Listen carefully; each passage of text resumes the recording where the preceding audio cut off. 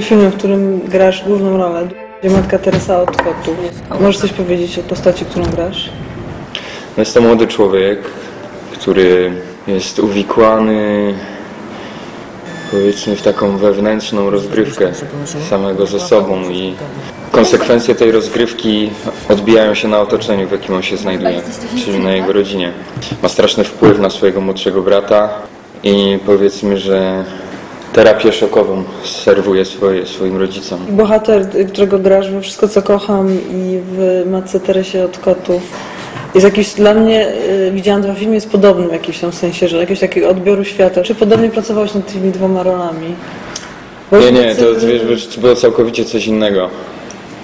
Powiedzmy ten przedział emocjonalny i przedział, nazwijmy to atmosfery, w jaki celowaliśmy z Jackiem i, i w jaki gdzieś tam mm, poszukiwaliśmy z Pawłem.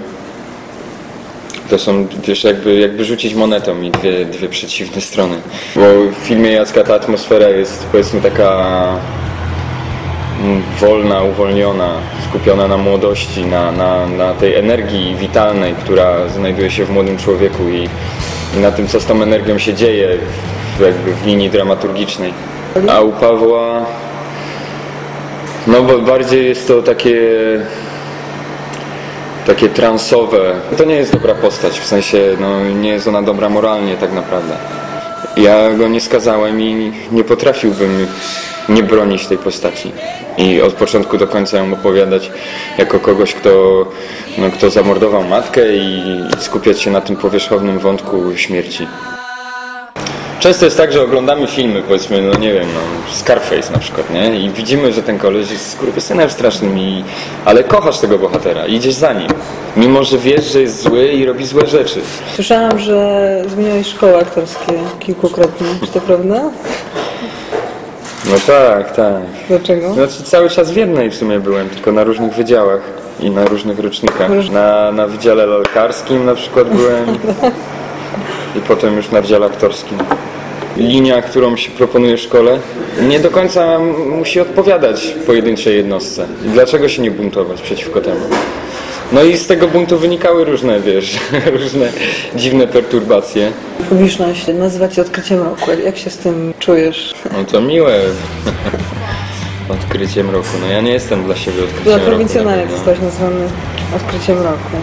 Tak, to prawda. Dostałem taką nagrodę. A to faj, fajnie, fajny festiwal. Znaczy fajne jest to, że, że tam publiczność przyznaje wszystkie te nagrody. Powiedz, jak było na festiwalu Sundance? Czy jak publiczność reagowała na wasz film? To jest duży festiwal, sporo filmów. Ale no, tam oka- okazało się na miejscu, że, że po kilku, po tych pierwszych pokazach film się podobał.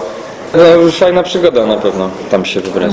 I no wiesz, jakiś tam zarys historyczny, więc to, to jest przyjemne. Zarys historyczny? No tak, no, że, że to był pierwszy jakiś polski film w no, konkursie, tak, nie? tak, tak. Jakieś znowu przetarcie szlaków kolejne. No. A wszyscy to lubią tak naprawdę Na przecież.